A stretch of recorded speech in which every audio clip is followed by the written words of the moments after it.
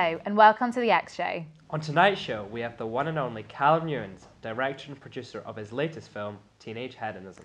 And in the mosh pit, we will be bringing you music performed by the lovely Georgie from her album Too Much TV. And later, we will delve into the murky depths of XTV's archive to bring you our hand-picked short film of the month. But for now, a very warm welcome to our guest star, Callum Newens, who has produced and directed his latest film, Teenage Hedonism, for XTV. Welcome, Callum. Lovely to have you on the EXE Show, Callum. Now, I understand you also wrote Teenage Hedonism. Yes. So, what was the inspiration behind it? Um, so I think a lot of us kind of grew up watching Skins. I don't know if you guys watched it as Yeah. well, but Skins is like, oh, your teenage years, it's it's gonna be drugs and sex and quirky misadventures. Um, and I don't want to give too much insight into my teenage years, but they weren't. Um, so I very much was kind of I kind of wanted to do like a parody of that kind of a more accurate representation of actually your teenage years can be really boring. Summer holidays can really really suck. Um, so I noticed in the film it's a lot of black humor, a lot of dark comedy. Yes. Um, I assume uh, that you had quite a lot of um, inspiration from that. Any particular shows or films you'd seen? Um, so I, my favorite style of humor is kind of like deadpan stuff. Like um, a lot of the the Coen Brothers films, the comedy in it works because it's just taking what is supposed to be like a serious scene, but it's so ridiculous. Um, so a lot of times I'd kind of mimic their style of putting the camera back and just watching a kind of semi-ridiculous scene. But the characters in it are taking super seriously. There's no specific joke in there, but it's just the ridiculousness of what's actually going on, and that's where the comedy's supposed to be created. And Matt Smith is the star of the film. Yes. Why did you choose him? Yeah, so Matt Smith, not not 11th Doctor Matt Smith. No, sadly of- not. No, no, couldn't get him. Budget didn't stretch to that. he, so I got a couple of different people to audition, and I, I really needed somebody who had that sort of awkwardness, um, but he, he could kind of pivot between being awkward and just being sort of deadpan silly, if that's a phrase, which we're going to go with, deadpan Yeah. silly. Not a thing that anyone's ever said because it's a contradiction, but we'll move past it. He was able to do that, and I think also what he was really good at was sort of improvising. So I would give him the script and be like, don't learn it until we're on set, and then kind of play around with it a little bit. So I really wanted to have that kind of spontaneity with what he's doing and what he's saying, and he was really, really good at that in the audition. So I kind of picked him. Love that. And uh, this may be a spoiler alert to our Oh, viewers okay. out there, but I think someone makes a very special cameo at, at, at about halfway through the film. Um, would you like to tell us maybe a little bit about that? Okay, I'm not gonna lie. We were filming in the forum in June, and there weren't that many people, and we needed more. And I was like, "Sorry, I'll be on camera. Fine, fine. Put my face on camera. Oh, if you have to, more attention for me. What a shame." um, but there were there weren't enough people, so I was like, "I will, I will step in." That's how professional it was. it was just because we ran out of people. I'm not like Tarantino, where I'm like, "Oh, I've got to." I mean, that's what Hopkins does as well. He's Yes. in all of his films somewhere along the way. Exactly, yeah. I, I could be compared to those greats. Yes. Some kid who's made one film um, where. No, in fact, I was about to say something, but that would spoil it, so I'm not going to say that. Oh, okay, okay. I was about to make a joke, but I was like, no, that spoils the film. And what's the plan? Plan to make more films in the future? Yeah, I've already got um, a plan for another film. Logistically, it's going to be a little bit tough because I do have in my head there's a chase scene down the middle of a high street, and I want it to be busy and full of people, which is going to be interesting Yeah. to film. Yeah, the general public are going to love us. So yeah, as we're like spending a whole day legging it down. But yes, I've got another idea for the next one. So keep your eyes peeled. Very exciting. And what did you enjoy most about making your film? Um, okay, so there's there's one scene in particular where he's he's in his bedroom, and a pigeon hits the window, and basically, oh, I'm, I'm sorry, yeah, That's pi- fine. pigeon hits the window. Was this planned? No, this was part. This was part of the, the, the joke. Okay. Oh, I spent so long. We had like a fake. Um, Okay, I was going to say, what are the logistics of this? yeah, so um, we did have a fake bird that we were throwing at the window to get that impact shot. Problem was, it was on the first floor and I can't aim. So I was literally, we spent a good 10 minutes of me being like, Ugh, and just missing the window, which was not ideal. But anyway, this, this, this pigeon hits a window, and then the two central characters um, go outside and they see on the floor this dying pigeon. And they decide the most humane thing to do is put it out of its misery. So beat it furiously to death with a broom. And that took about six takes to get right because I kept laughing at the Did just the anyone walk past just like, what on earth is going on here? My housemates were all in, and they're like, I can hear a lot of screaming from the garden as he's furiously just pelting this this dead bird with a with a broom. We didn't use any real birds, by the way. No animals were harmed in the making oh, of this. that's. Brilliant. Just get that out there. Yeah, cool. That's a little disclaimer that is very important. Now, just for the viewers at home, here is a little clip from Callum's latest film, Teenage Hedonism. After more Googling, I found out it was probably just a mole. And yesterday, on day 20, a pigeon crashed into my window. Do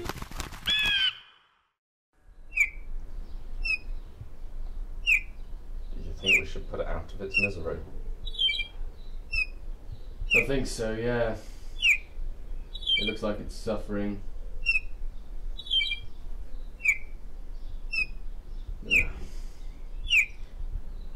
Go grab the broom.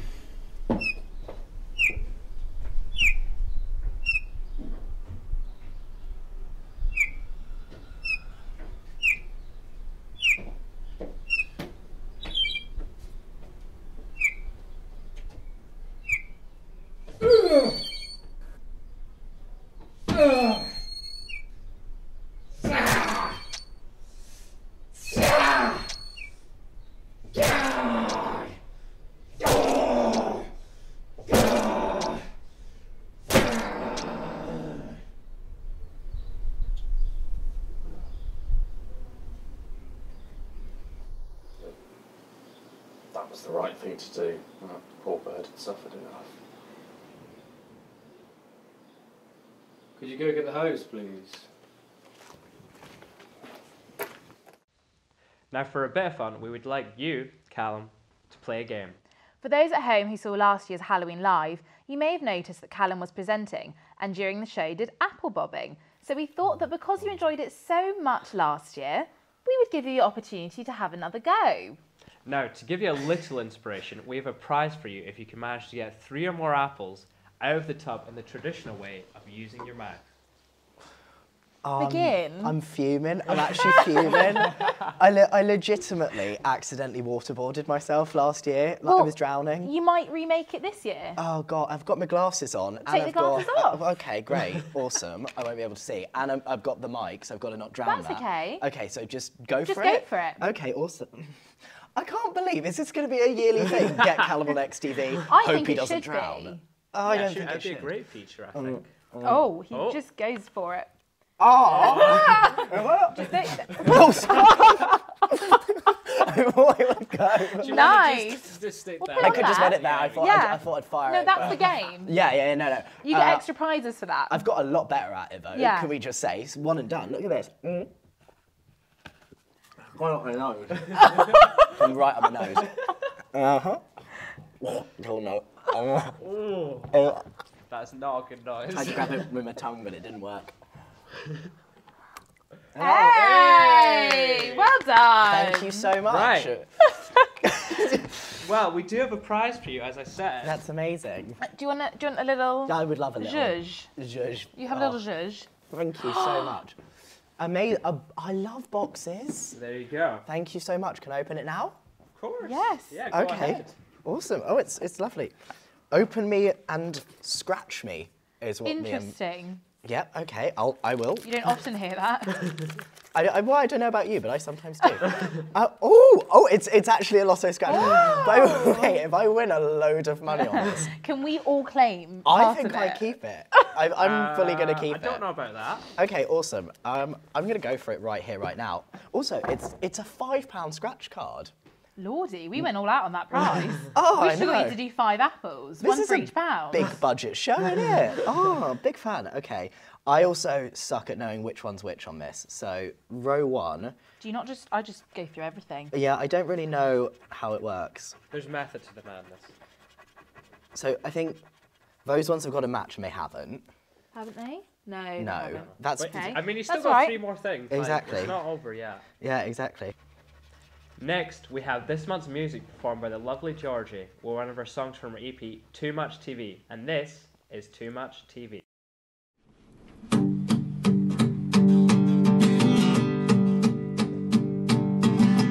And I've been staring at a blank page all my life. Wanna make my mother proud what I'm singing. It's pretty quiet where I come from. So quiet that you can hear your phone not ringing. No more tears, one more beer, oh yeah.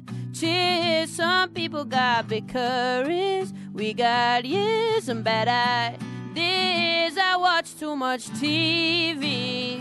I should be up early, but I've been drinking all night, all night. Yeah, my friends are all sober, but I'm still hungover. I bet they think that I'm alright, I'm alright. Yeah, but I think I did too much this time. What would Georgie do? But I think I did too much this time. What would Georgie do? I've been kicking against the concrete every night. Wanna make my daddy see what he's missing. He's been working every day for my whole life. Be a waste if I ain't gonna live it. No more tears, one more beer, Oh yeah. Cheers, some people got big careers. We got years and bad ideas. I watch too much TV. I should be up early, but I've been drinking all night, all night. Yeah, my friends are all sober, but I'm still hungover. I bet they think that I'm alright, I'm alright. Yeah, but I think I did too much this time. What would Georgie do? But I think I did too much this time. What would Georgie do? No, I really did too much this time. What would Georgie do? But I think I did too much this time.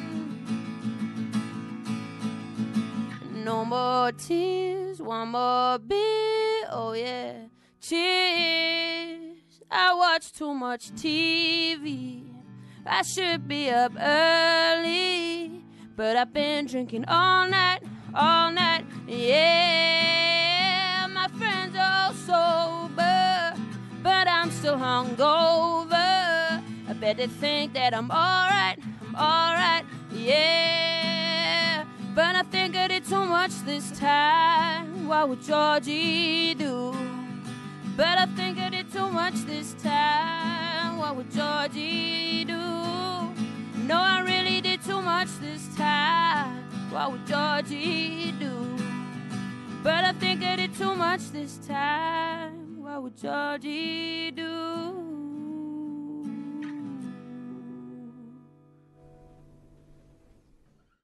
Welcome back. Now, explain to us what's happening, Callum. I've not won, have I? Oh. Yeah. How does that make you feel? All right, I didn't realise this was like a therapy session. We're going to talk through my emotions. It's actually quite sad because there's like loads of different games and I keep rechecking to be like, maybe I have one, but I, I fully haven't. Does that make the waterboarding worth it? No. Do you actually mind if I keep an apple as my prize then? Could I? yeah, go for it. Because I've not won that. Could I mean, they Are don't. you a bit hungry or? That one's already got a bite mark in it, so maybe just go for that one. Finish yeah, I'll that one off. Finish it off. Awesome. Thank you Yeah. very much. Cool. Oh, I will. Nice. Excellent. Now, as this is the month of Halloween, we've decided to pick a short film for you from our very own XTV archives to bring you a spooky tale of Christmas woe. Yes, that's right. Instead of a ho ho ho, it is more ho ho no as we bring you Silent Night.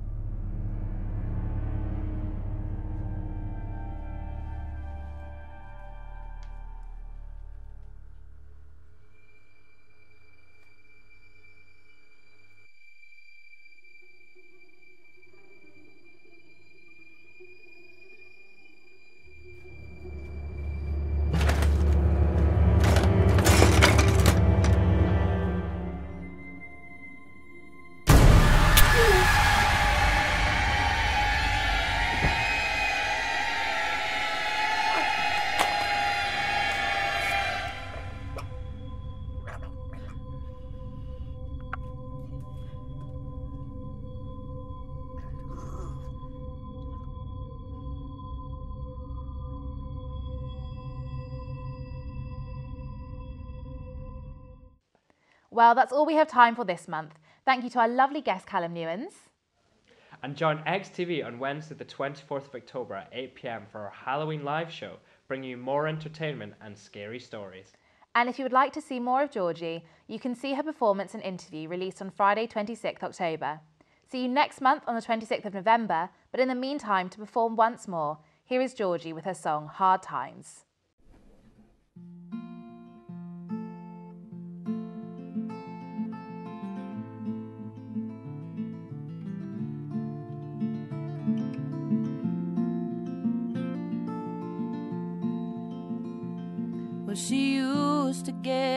Most weekends, and she hardly had to try. And she still goes out in those fishnets, but she saw seen better times. And she didn't have to work that much, cause her looks would get her by. But she's got a kid now who she loves, so she's working day and night. And she can't quit, so she gets it. And in his car where she meets him. She feels like sometimes she just can't win in these hard